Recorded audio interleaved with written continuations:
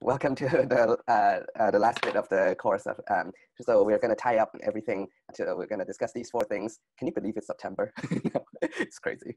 Um, feels like March. Um, but uh, so, all right. So uh, transformers. Uh, that it, it, we have one key equation we'll need to learn today. I'll pop this up here first, so um, you know what to expect. Uh, so this is the main part, and there's also uh, latter part. And uh, P and the S stands for primary and secondary. Okay, um, so I'll just put this here first right off the bat. Okay, and um, yeah, uh, I'll explain what these things mean in the uh, as we go. Also, I uh, one extra term um, I really due to the shortness of the course, I really don't have time to do justice, but uh, hopefully you see the idea of electromagnets is a really big deal in just real life. So um, I think I, have gave you a couple, like three or four applications, including the northern lights or uh, velocity and mass spectrometers and um, stuff, but, uh, or, and even I casually mentioned picking up trash, picking up metallic trash to, to recycle. Um, uh, for recycling, you know, to, to recycle uh, um, or metals or any copper, you know, uh, you can make a magnet of that. But there's just everyday life. Uh, if you use some imagination and um, after the uh, course, uh, look around yourself, you can, you can see a lot of things used as electromagnet. This is just another example from a textbook about um, bells, about doorbells or any electronic bells. Um, you can have a spring load over here so that uh, so that it's it's trying to pull the rod back and this iron rod will um, it's going to be sticking here. But uh, as soon as you hit the switch, you close the switch, this generates a magnet. If is an iron, it will immediately suck it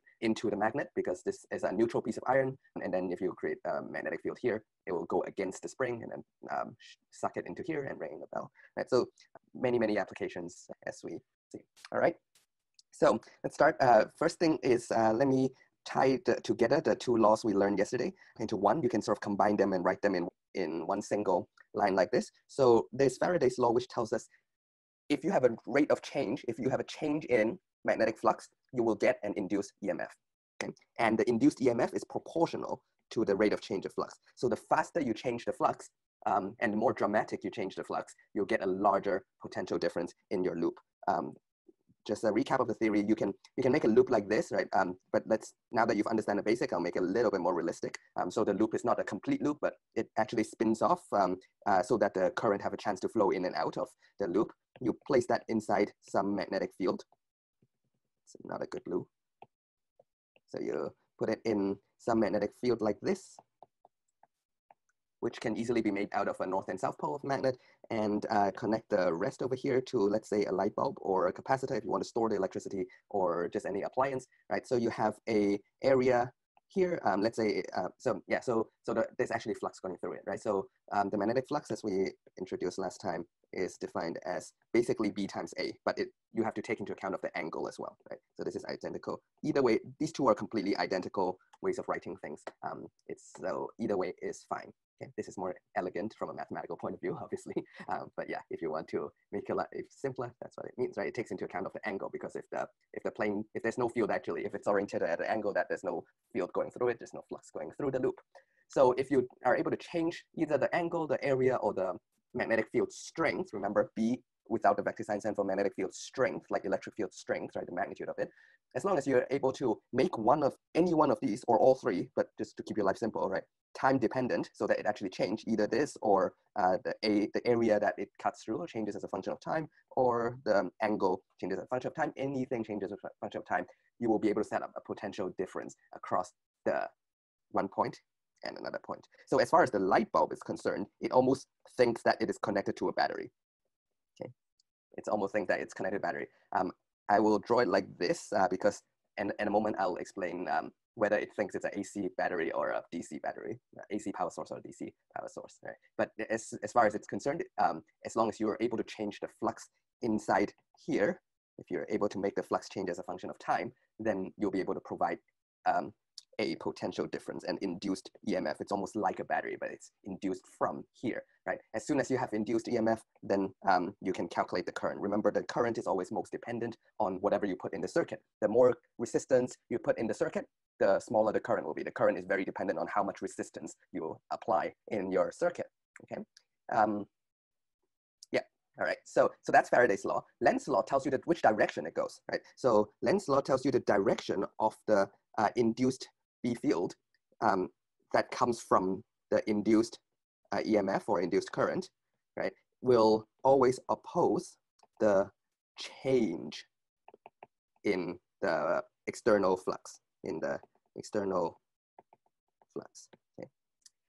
So if if you suddenly, let's say at first there's no flux going through, you turn off the B field completely and then you slowly uh, increase the B field. So you gradually turn it on. So the flux through the area, I, this is not very 3D like, but hope, uh, assume it's the, the area is perpendicular to the field, right? So, so um, now you gradually turn on the B field so the flux increases. What the direction of the current, does it flow this way or that way, right? So it will, the Lenz law basically is an observation. Remember law is just historical observation facts that people don't know how to explain it, right? Um, uh, the, it is observed by Lenz that it will go in a way that whatever the induced B field, right? So you'll get an induced current or induced EMF, right? It will, it will generate an, in, any current will on itself, so distinguish what is external and what is sort of induced out of it. So as soon as you have a current, you'll get an induced um, current out of it uh, that will um, that, that, that will create an induced B field that opposes that change. So if the external flux gets larger, it will generate a way that it opposes it. Um, if the external flux gets smaller, it will try to go in a way, um, it will, the current will go in a way that supports it, okay? Because the whole idea is, um, think of it as uh, electromagnetic inertia. Do you guys know what inertia means? Um, pop in the chat uh, if anyone doesn't know what inertia means. Okay, inertia in short, inertia is the resistance to change. Um, so when you wake up in the morning and you get out of bed and you don't want to, that's inertia. um, more physics-wise is uh, uh, if you have an object over here it, it, if it's not moving, it, it wants to stay at rest, right? It doesn't spontaneously move. Also, inertia applies to moving objects. Newton's first law basically tells us if you have something that is moving at a constant velocity, it doesn't want to change either, right? It's almost like if you're doing, um, if you're in the workout and you're in the zone, you don't want to change, you want to keep going. That, that is inertia, so like um, momentum. Um, in fact, uh, inertia believe it or not, it's one of the deepest mysteries in physics. We still don't know why things have inertia, like why things don't want to change. Right? So what I described is mechanical inertia and a little bit about psychological inertia in our life. Um, but uh, the first one about uh, objects want to maintain its motion or uh, whether it's at rest or maintain its velocity, that's mechanical inertia. And then there's the um, electromagnetic inertia. So electromagnetism has inertia as well. So at first, um, let's say you don't have any B field going through it, so there's no flux going through it. Then the, the wire is completely happy. It's completely satisfied with no B field going through. Now, when you suddenly increase the B field, it becomes very unhappy, it becomes very uneasy, and it tries to create a current so that it creates a, its own B field, right? Its induced B field to try to oppose whatever's going on. In the second case, so that's case one. In the second case, if I decrease the B field, external B field, so the flux, let's say originally there's a lot, like now, now that the, the wire is all caught up, um, it has the B field going through and it is, okay, finally settled in the zone of, okay, I have a B field going through me, all right, that's good. Um, now you suddenly decrease it, it doesn't like that as well. It, tries, it will try to create a current that maintains the amount of B field. So let's say this is, uh, the B field is pointing to the right, um, which I guess to with the zoom flip, it's going to be that way. Um, so uh, if the, uh, the field is going to the right, and suddenly you turn off the B field, or you turn it off very slowly, right, gradually turn it off, the wire is not going to be happy and it's going to create an induced current that makes its own B field to the right to, to maintain its original um, amount of magnetic fields in that way, right? So that is that. So now uh, people come sort of combine these two ideas of uh, Faraday law addressing what is the magnitude of the, um, so you can calculate the induced current out of this, the magnitude of the induced EMF or the induced uh, current, um, it's basically proportional to this. Um, whatever constant you, uh, it, uh, it's basically um, due to convention. Um, however, it's actually easier just to make it one. Uh, um, you can define, basically that defines what Tesla, the unit of Tesla is. And uh, this is Lenz law on this side right? So the Lenz law addresses the fact that whatever induced is opposing the external. So people just combine it in one sentence with a minus sign over there. The minus sign is not taken that seriously. There's no sense of sort of negative uh, magnitude. It's really just a mnemonic to remind ourselves that um, the direction of the induced current is in such a way that it opposes whatever is the external change in B field. Uh, question clarifying that not a negative in front of the ex, uh, external. Oh yeah, in fact I just uh, addressed this. So yeah, so that negative has no calculational significance, no algebraic significance. It's really to encapsulate this idea together. Um, so this people will quote it as Faraday Lenz law, just to get us right. So one ingredient addresses the magnitude of this, and one ingredient addresses the direction of this. All right. Um, which brings us to uh, AC generators. Let's uh, analyze a little bit more um, how power plants work. So if I have a magnet like this, right, going from north to south, and I put a, uh, this time I put a square loop through it, so it's a little bit easier. So this is the top view. Um, but it's probably easier to look at it from the side. Maybe I'll use a separate page. So if I look at it from the side, from the side view, um, the let's say the um, the loop, the current loop, right? So you're looking from the side like this is like this, sort of the plane of the loop is parallel to the B field. Okay. So at first, what is the flux going through this loop? Can someone tell me what is the flux going through this loop?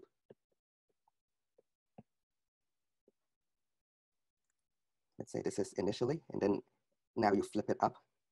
What is the flux through uh, case number one? Very good, zero. So if the uh, loop is in the plane of the field, no field is actually cutting through it, right? Remember the word cutting is sometimes we use that as a metaphor uh, for it. And now you rotate it. So I'm rotating it like this, right? So the first step, I'll rotate it 90 degrees. Now there's a huge flux through it, right? So at first in state one, there's zero. And then now uh, if it's 90 degrees, um, say state number two is B times A, simply B times A, where A, A is the area of this loop, right? Um, you, so technically, um, right, this is BA cos theta. And what, what's changing is B is not changing, A is not changing, it's, it's the theta, uh, the, the angle between them that is changing. Um, in terms of area vector, you can also account for that, right? This is the original area vector, A1. And uh, in, in uh, case number two, right, after you rotate it, this is the area vector. It's a perpendicular vector this way. So at first you see it is, the B vector is just constant, right? It's just going, doing its thing, going from left to right. Um, at first, uh, A1 is perpendicular to this. So with the cosine, um, it's going to be zero. And then here with the cosine, it's going to be one, right? So now you've got to increase in flux, right? So what happens?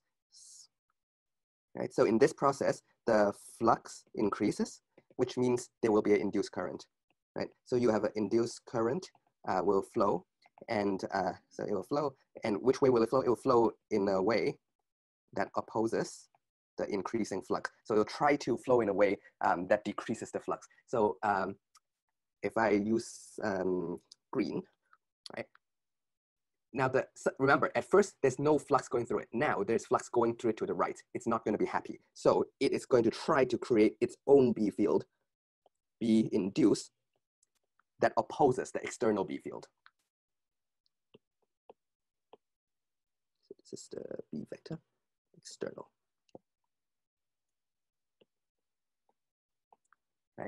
And how, uh, which way does this loop have to, um, does the current have to go in order to create this green B field? It must, um, with your right hand, so it must go, uh, the, the current must go in here and out here, right? It must rotate in this direction. Okay. So if you're, again, whether it's clockwise or counterclockwise depends on which way you're looking at. You're looking from the left or looking from the right. Let's say you're looking in from the right, from the South Pole direction, then it's gonna go um, clockwise. Right? Like that. Yeah, but it's easier to just mark uh, where it's going in and where it's going out. And then now, as you keep turning it, let's say you turn it another 90 degrees, so back to state three, there's no um, flux again. Now the flux decreases in this step, right? The flux decreases. So the current, again, um, you will get a, as long as the flux change, as long as you have some change in uh, flux, you will get a current. But with this time, it will go in a way that supports the external field, right? Because it, it's decreasing and it's not happy. It wants to it wants to maintain that. So it's going to go in a way that um, supports the, the external field, right? Um, because it wants to oppose the decrease in external field, right? So it's going to generate its own uh, B field. So let me use yellow this time. Um, so this time, as, as it goes, um, as it as it tilts sort of uh, halfway, maybe let's draw a new one goes from here to here and ultimately to here. Um, but it's easy to just draw it halfway first.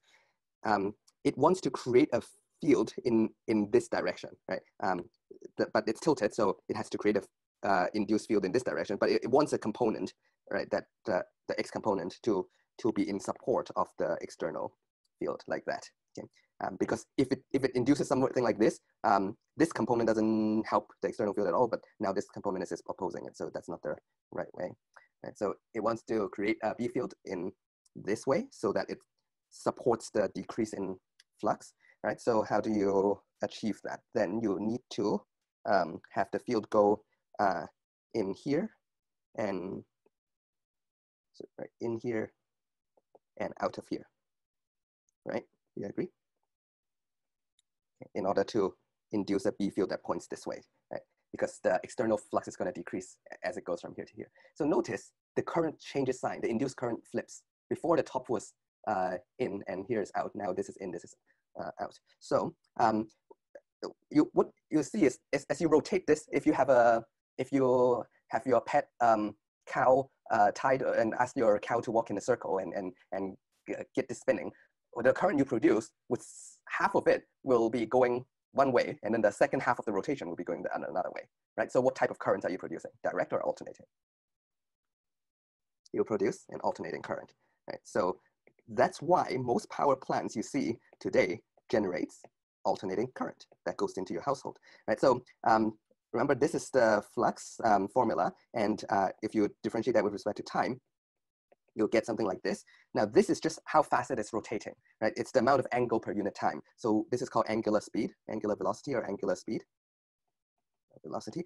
Now, let's say it rotates, you know, at, um, at 30 degrees per second. It's like that, you know, that can be a constant unless your cow starts speeding up and slowing down. Let's say your cow is well trained and it's going in constant speed, or you have you put this under a water mill or a windmill that is spinning at a constant rate. It doesn't have to be constant, but just for simplicity, let's say that's constant. The only thing that is changing, so that's usually called uh, omega. Um, some professors used to joke the difference between going to a college and a community college is in one you call this W, in the other you call it omega. So that's where your money's worth is.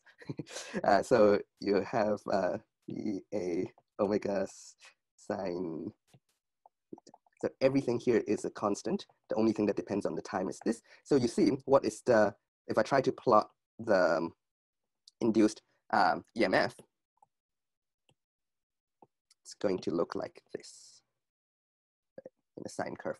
Uh, so the flux through it, you see um, the flux follows here, the external flux through it follows a cosine like this.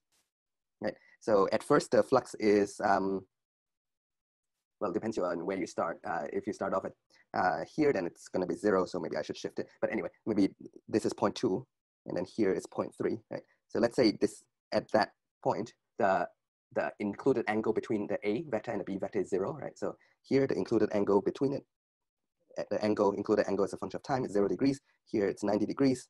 Uh, here is 180 degrees. 270 and 360 degrees, right? The whole rotation. How does that map over here? So at first here, you will, uh, this is the induced current or induced EMF, right? The, the relationship between this is just by a factor of R. Um, so uh, if one is if one is goes as long as a sine, the other is also a sine. Right? If one is cosine, the other is also cosine. Right. So um, you see the first 180 degrees. So from this point to this point, uh, it will the, the current is flowing in one way. The current is flowing in in the positive direction, um, and the other is flowing in the other way. Right.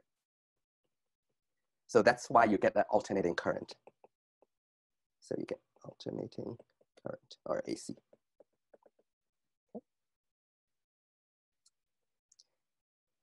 So uh, you can see this is the diagram, right? You uh, also you want to include some slip rings over here. So remember this side is completely connected to this ring. So as you rotate it, uh, this ring rotates with this wire and uh, the other wire over here connects to the slip ring. So as it rotates, these rings rotate as well. Um, and this is not touching, right? The, the, the inner ring is just connected to one side of the wire. So yeah, so it will produce a current going this way, and then half of it will produce a current going the other way. You will get alternating current, and a typical um, generator rotates around 50 to 60 hertz, which means it flips around uh, 50 to 60. Actually, it doubles because um, uh, because it's uh, in one uh, complete rotation, um, right, sorry, uh, the, the, current flips that much, but if you analyze the power going through the bulb, right, that's the current through the bulb and uh, voltage through the bulb, sorry, voltage across the bulb. So if you have this uh, generator over here and you have a bulb over here, what really you what you really care is not really which way the current goes or the uh, potential difference, even though let's say this is the induced EMF from your generator, so this is the same as what you experience in the bulb. Um, what you care is the um, because this flips back and forth, this flips back and forth, it's very difficult to analyze both at the same time. So let's rearrange it in another way that is easier to understand. Um, because the resistance of a bulb is always constant, that's to do with the material, right? So you need to square it. So that means uh, if you square it, if you get a if you if this is following a sine, right, you square it, it will look like this. So in 360 degrees, it actually flips up and down twice. Okay? So you actually get 120 hertz. Right? You don't need to really know these numbers, but just to get, give you an idea of the number in real life, um, how, how much it flips back and forth. So if you look at any light bulbs, they actually flip around this much um, uh, from 100 to 1 per second, that many times uh, per second, goes sort of on and off. So uh, our eyes don't really catch that. It's impossible to catch that. Um, to give you a reference, right? If you watch a movie, movies are filmed in 24 frames per second, so that's 24 hertz. Um, already, you look at, you watch a YouTube video. Um, YouTube videos are around like 30 hertz. Um, if anyone's into video editing, um, you might know these numbers. Um, uh, uh, yeah, so you already think that's continuous motion. So with 100 hertz, that's you just think that the light is completely turned on.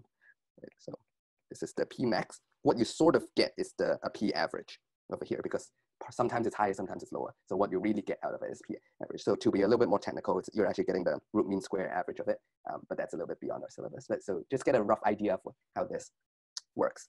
Now a DC generator needs to be a little bit more clever if you don't want this to go on and off, like sort of flip the current back and forth. Then what you want is to sort of split this ring in half. So um, the moment it goes, start going the other way, when the current starts flowing the other way uh, because of the induction, uh, of the electromagnetic induction, um, then this will flip the uh, this will this will connect to the other side, so it flips it back. So what you get is instead of a induced current that goes like this, it will, because of the connection, it'll bump whatever, because it, it'll flip it to the other side as well. So now your current is only flowing one way. It'll still, it'll still go from high to low, high to low like this, that you cannot prevent, right? Because it's a cosine uh, feature of the, of the thing, right? Yeah, so, so yeah, um, so that's how you make an AC generator. That's how you make a DC generator.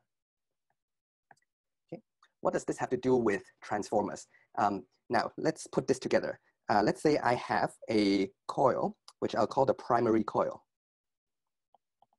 And I'm going to put a secondary coil, let's use orange, right through it with different number of turns. Okay, so the primary coil has n uh, p number of turns and the secondary coil has n s amount of turns. Okay, I'll overlap them together. Now here, let's uh, turn on, put it to a put it to a battery and turn this on. Okay, and as soon as you turn it on, right? Remember, you will get a magnetic field going through it. Right? So um, depending on the direction I draw, I'll just make it simpler. I, am not sure if I've drawn it the right way, but you, you, get the idea. You get a magnetic field going through here, so technically it wraps around as well. For now, let's forget about the edge effects. We'll focus on in the middle because that's what the, the orange one, the secondary one, experience as a flux, right? So if you turn it on, it, uh, at first, uh, step number one, um, there's no flux through the orange one. Right? And then step number two, when you turn it on, now there is a flux through it. So there is a change in flux, right? So what will happen? You'll be able to induce a current through here. Again, I don't know which way is supposed correct, but um, yeah, you get the idea that it'll um, just as a, I don't want to draw the, I don't want to commit myself to the direction. Um, so you, from step one to step two, you will get an induced current. Okay. Now, how much current will you get? Well, for one loop, you will, so for each loop, you will get this much. Right? Depends on how much the flux changes per unit time from the, from, so this is from B1 times the area two?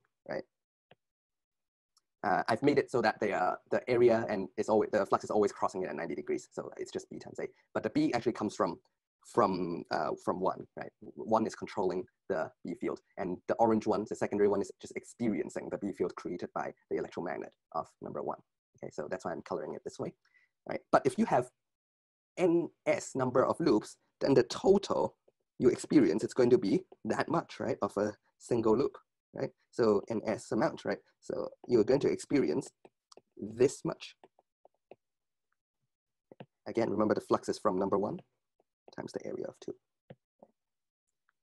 Um, and also, uh, how about uh, how about B1? Well, what is B1? B1 is uh, treat this as a very long solenoid, right? treat as an infinite solenoid. Then you will get mu naught n uh, I, which is mu naught n primary over the length of the primary coil, right? The current of the primary coil, right? That's the amount of magnetic field, right? So uh, you, you can see that the larger the ns, the larger the potential difference you can generate out of two, total out of two, out of the secondary coil, okay?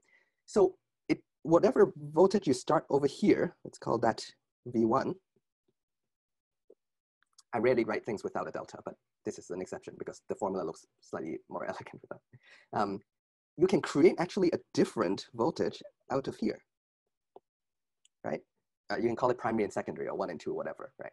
So what is the ratio? Um, I because this is a beginner's course, I won't derive it, it for you, but you can go through the math and then you can figure out this is the ratio that comes out. So if you have, let's say, a thousand turns in the secondary coil, and let's say you have 10 turns in the primary coil, then you can actually increase the, so you can increase the second voltage 100 times of the first primary voltage. So this is called a transformer. It's a device that allows you, the wording is called stepping up or stepping down. It basically allows you to, a device to increase or decrease. So it's called stepping up or step down the voltages. So whatever you create, you can create, start with something with um, five volts. Let's say you start with something with five volts, buy a battery, and then put it, um, run it through a transformer, and you can get 500 volts out of this. Right. So this is a very interesting device. So a little bit more realistic ones. Um, don't sort of overlap them like this because it's um, uh, th there's a better way to do it. Um, that's an engineering problem we won't go through it too much. But what you want to do is um, put a piece of iron over here like this. So this is just some uh, iron or some metal because in one side, when you create the um, magnetic fields, the iron will actually guide them along here and sort of reduce the edge effects and sort of contain everything in here. So the magnetic field goes through like this. And um, the field will try, there will be some leakage outside here, but if you have a piece of metal, um, the metal atoms, again, this is like beyond our syllabus, but you can sort of intuitively imagine that the, the atoms in the metal will sort of just force the field to go along with it. So you can put it like this, all right? And notice, what type of input do you need? You have to do a alternating current input. You cannot use a DC input because if you have a DC input, the moment you turn it on, yes, there's a change in flux, right? Because this side is going to be connected to a light bulb or something, right? This side is going to be your generator. If you use a if you use a, a DC one, the moment you turn it on, good, there's a change in flux. It went from nothing, no flux, to lots of flux. But DC will start to make a, make a constant field. It's not going to change. So you need an AC so that um, your current here goes back and forth, right? Your current here changes, which means your magnetic field goes back and forth, which means your flux through the number two, the, the flux through number two is going to change in time. So the current has a fighting chance, right? The EMF has a fighting chance to get induced some current or EMF on this side. Right? So as you can see, this is another reason why AC is so much more useful in the real world, even though at first when you learn about it, it looks very flip-floppy, going back and forth, but this is the important part, all right? Um, also, uh, but what's, it, at first you might think like, wow, am I getting uh, power for free? Because if I can increase my voltage, it looks like for every second, remember power is uh, energy per unit time, right? For every second, I'm going to get more energy uh, if I can increase this. Um, that's not true because um, if you think carefully, uh, the, what happens is when the voltage increases, there is a conservation of energy. The, the current is going to be smaller this way. Okay, so there's a, a conservation of energy. Um, uh, so uh, I, I1 V1 has to equals to I2, or I primary V primary has to equals to I secondary V secondary. So um, if you have VP, VS over VP, um, rearrange this, you can see that this is inversely related this way. So this is called the um, transformer equation, or equation for transformers. Okay.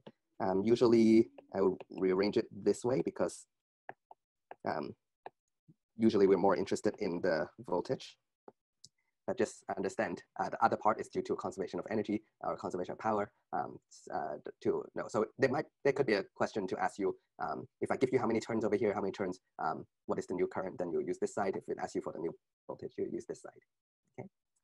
Now, uh, this brings us to um, power lines. How do power lines work? And you probably have seen these danger signs and tell you that whenever you have uh, these transmission lines, um, they are high voltage, right? They'll say like danger, it's a high voltage. So what's happening is in a power plant, you, you generate power and what they do is they step it up uh, extremely to extremely high voltage and then step it back down um, uh, on this side, use a step down transformer. So you just have to, um, oh, uh, yeah, I should mention, um, so obviously if you want a, a step up transformer is when V secondary is larger than the V primary, right? The step down is when V secondary is smaller than the primary. Okay. Uh, that, that also means that you need the number of coils uh, to be larger in the secondary or the number of coils to be smaller in the secondary if you want to step it down. Okay. So that's sort of the condition to, uh, to create whether a stepped up or a step down transformer.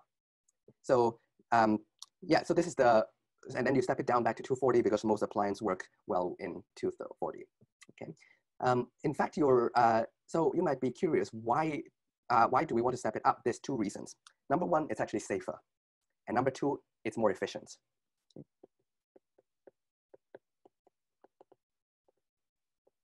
Power efficient. Now, it might seem counterintuitive for the safer because you see all these dangerous signs saying that um, there's danger, it's high voltage. But uh, you might be glad to know that high voltage is safer than high current. Um, remember, there's a conservation over here, right? So you can, if no matter how, if, if the power plant, power produced is certain amount, if you step this up, this will go down, right? If you step this down, this will go up. So um, you, you can't get more power out of whatever power plant you create. Um, it's just a choice of do you want to make it, at, when you transmit it, do you want to transmit it with a high voltage and low current or uh, low, uh, low voltage and high current? Um, there's, a say, there's a saying say uh, voltage shocks, but current uh, jolts, I think. I might have to Google that. voltage shocks. Oh, current kills.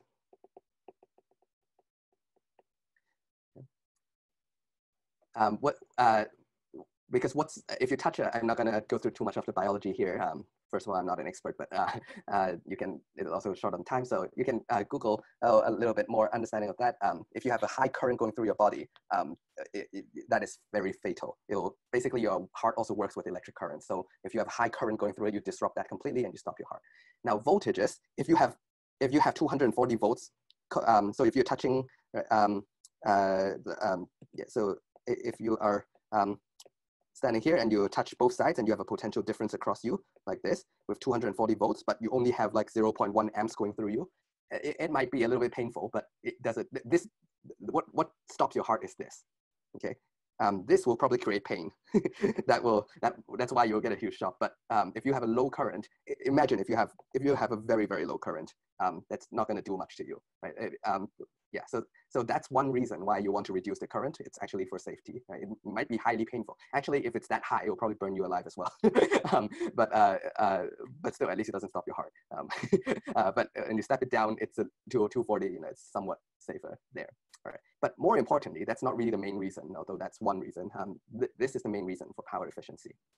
So every line has some sort of resistance, right? Every real wire is not ideal. They will have some sort of resistance, all right? So resistance of the line. So what do you want to do? So you want to minimize the power consumed, the power loss, right? The power consumed in the lines.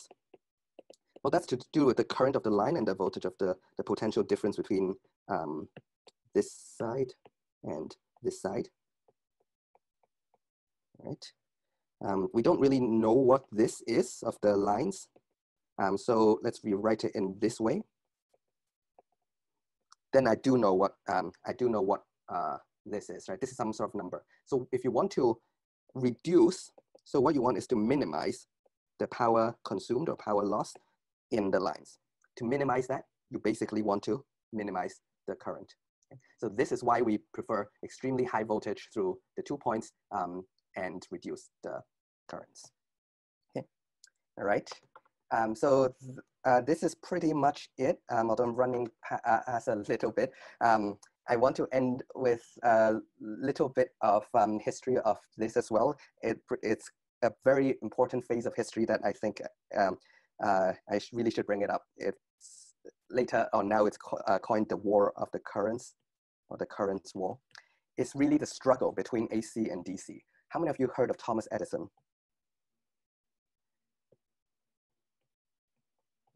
Actually, I'll put in the new slide. How many of you heard of Thomas Edison? And how many of you learned that he was a hero in elementary school or something like that? And if you know the actual history behind it, it, this is one of the biggest complete, excuse my language, complete BS in the history of science. Um, Edison is probably the probably the most overrated um, scientist or uh, uh, engineer in, in the modern history of science. Um, he, what basically he did was um, there's a huge competition when all these were new between AC and DC. When all these theories were new, um, uh, basically Thomas Edison um, was one of the first person who made a DC generator. So uh, uh, he was a big champion of this side of of the, the story and uh, Tesla invented a lot of Nicholas Tesla um, invented a lot of the uh, he invented first AC generator etc. So which one's better for the world? Well. Um, well, you probably know the answer here now, and um, given uh, yeah, uh, what we live in. Uh, but uh, back then, they, they don't know. Yes, he did. Uh, so the, the prob- if you know, want to know a little bit background, Tesla is a, uh, comes from not a rich family, um, probably a middle class family. He has some amount of money, but most of his inventions, he's basically an inventor um, at heart, a scientist and an inventor at heart. Um, and he just he, he found a lot of uh, people to fund him to do his research and stuff like that. And uh, he's very accurately described as inventor more. Um, whereas Edison is basically he came from a, a, upper class family. It has the richest background. Um, if you ever heard in elementary school how you know we, we, they rate him as a as a hero of um, of um, of inventing the light bulb, which is true. He did invent the light bulb. That's good. Um, and it, we're praising his uh, work eth- um, ethnic of uh, trying again and again. Um, that is true. That is all. That is all good. Um, uh, but you might ask, where does how did he get like that thousand number of light bulbs to start with? That's because he was extremely rich. He came from a huge family. He has lots of corporate ties. Um, and uh, as they as they mature and then they develop their own company, um, Tesla has its own lab. Edison has his own General Electric company. Uh, he, so he tried to, um, of course, champion his own theory, which is fine. Um, well, there's also incident that uh, Tesla actually went to work for him for a while, and then uh, Edison didn't pay him at all and, um, uh, and stole all his invention. But uh, the worst part is, um, as the world start to see more and more benefit with the AC, first of all, as I mentioned, if to, to use a transformer, you have to use AC. DC if, if you use DC, you have to keep switching the flip on the switch on and off to create a changing flux, right? Because DC doesn't change, right? AC changes complete all the time, like that. So as the world starts to see that AC is more useful, um, he saw a big threat to his company. And uh, he has all his rich friends, including J.P. Morgan, was one of his uh, greatest friends, closest friend. Um, and uh, they, part, they partnered together and figured out so many, so many ways to discredit like Tesla. Oh, Tesla was um, Austrian American. He's born, he was born in Austria. Um, he was an immigrant, moved to America, um, had a lot of opportunity, invent a lot of things. Um, but uh, there's this huge wealth of funds of money come uh, going against him and um, and uh, Edison also has so many marketing campaigning against it um, the electrocuting an elephant is actually one of the um, really brutal things that it uh, took it went on basically campaigning that AC is extremely dangerous um, and because with DC, he create all these little uh, batteries. You know, it doesn't seem to hurt anyone. But with AC, you can step it up and down, and it seems very dangerous. So the public was very easy to be convinced that AC was uh, uh, very dangerous um, because they heard of AC killing people, electrocuting people, um, but they never heard of a dry battery like this killing people. Although if you create a lot of power, you can, right? but that's not being um, advertised. So on the streets, uh, he, he, he, he went and um, actually publicly electrocuted elephants in the streets to demonstrate to the people of New York or, or and America that how dangerous AC can be. So he uses AC, and uh, with the help of all his rich friends, it passes a law in the Supreme Court to allow people electrocutions in America to be conducted with AC, although you can do it with DC. Um, so all the electrocutions uh, back then were done in AC, and everyone was completely scared of AC. Um, and it still didn't quite work, and they actually hired a, a lot of um, gangsters and mafia um, and actually go and loot and uh, completely destroy Tesla's lab um, and set his lab on fire until a point that he actually almost have to leave America. Um, and at the end, he was so discredited that uh, Tesla died alone um, in some rundown apartment in New York, completely broke. Um, one of the huge tragedy, I think uh, the story of Tesla is one of the um, biggest tragedy uh, in, in uh, the history of science or modern history of science. Um, if you like, uh, there's a documentary called The War of the Currents. Um, uh, you can, or I think there's lots of documentaries about this period. You can look up some of the history in whatever uh, streaming service and Netflix or Curiosity Stream or whatever um, to find out more. Um, it is a very interesting piece of history. I won't go on too long, but um, yeah, uh, of course, nowadays we recognize uh, which one is more useful. By the way, uh, Edison's idea of to electrify um, America, his idea was this, because you cannot step it up or down, what you need is in every household, I should put it on this side, and the elephant on this side. And every household, he proposed people would um, buy an Edison General Electric uh, generator. And every part of our house will have our own generator. And as a result, he can sell a lot of these and he can earn a lot of money because of this, right? Um, it, Tesla's idea was to have one central power, power plant to generate electricity. I know, crazy idea. generate electricity and step it up and down and transfer it um, to households um, free of charge. Uh, and Edison was extremely scared of this idea. How on earth are you, will anyone buy DC generators after this? His company will go broke if people are using, he cannot imagine how you can make a profit. Maybe he probably would be kinder to Tesla if he found out how to make a profit. Um, nowadays we found out a way to do that, but he couldn't imagine back then how can you charge people if you were just sending them power. Um, you're creating power over here and sending them that way. Um, that's one of the reasons he was so adamant in um, uh, getting Tesla out of the way, which is a huge shame. Tesla's one of the smartest guys, um, inventor. Um, he actually tried to, uh, one last thing I promise, he tried to make Tesla coils, if you heard of these, in a power plant and completely get rid of power grids and just have coils over here so that you can send power wirelessly to every house in America if he's still alive, I don't know if he can make that a reality, but you can get Wi-Fi and he basically invented Wi-Fi um, and wireless charging to every household, um, at least the idea of it, uh, before he was able to make that a reality. Um, there's so many inventions, you should look it up and I'm not gonna so spend so much time, but it's a great shame that he died. Um, don't know what age he died, but pretty early because of uh, a lot of disease and stuff um, of this tragic story. All right, um, thank you very much. Hope you enjoyed uh, all of this. And now I will go into help you guys to uh, solve um, some of top, get you prepared with topic test five. I'll go through as much problems as possible, all right?